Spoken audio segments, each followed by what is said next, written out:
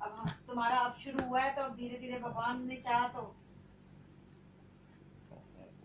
वही ना धीरे धीरे तरक्की होती है ना, एक